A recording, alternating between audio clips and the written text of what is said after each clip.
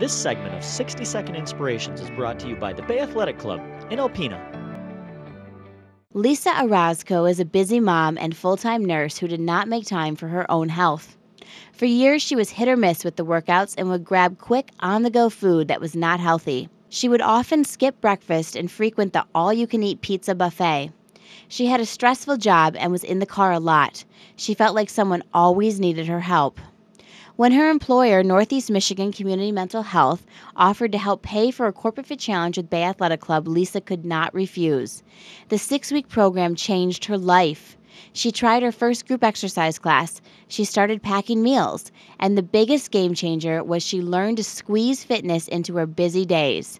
Instead of feeling overwhelmed with more on her schedule, she felt calmer and less stressed. Lisa never went back to her old life. Since then, her entire body has changed. She shed fat, lost inches all over her body, and created definition in her muscles. Plus, she dropped a whole pant size.